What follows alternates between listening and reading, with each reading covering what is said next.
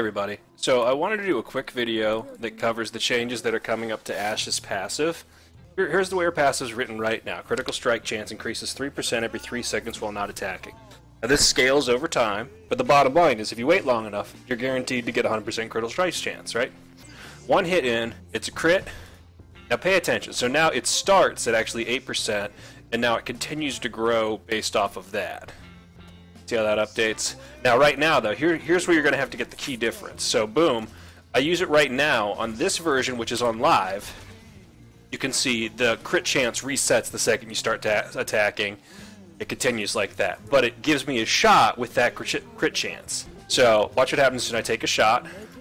Boom. It's reset to its base, which is actually, you know, my current crit chance level.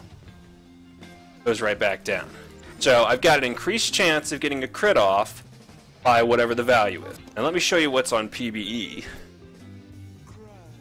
The new passive builds in stacks, right?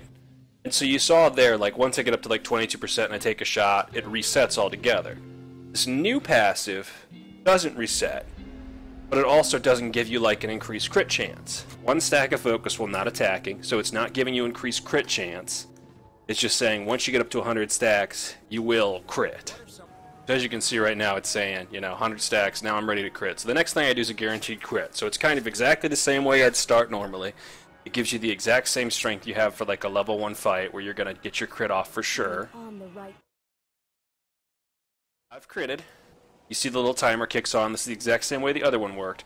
That's the part I don't get for sure. You saw how it started at 17?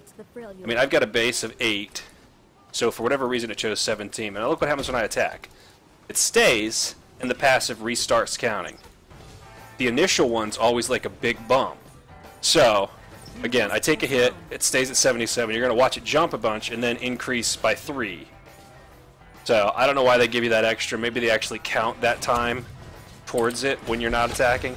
So it could very well be worth it to just wait the 3 seconds. So that's all I want to show. Also on the tower, if you notice here too, it's, you know, it does the same sort of damage, blah, blah, blah. It's not ticking away or increasing. You've got to literally be out of combat, not hitting anything for three seconds. Anyway, so that changes the way you can play a little strategically in lane. It's another thing to think about as an Ashe player while you're going, you know. Alright, do I wait an extra second if I go in right now? When's my crit going to be up, etc. Here, let me go back and get a Brawler's Glove, just uh, another one here. This put me at a base of 16%. So all I'm going to do here is run over, crit once, and then see where I start for like my base value. And let's see where I reset. So boom, three seconds later. Do not confuse mercy and we start at 25. Thanks for watching.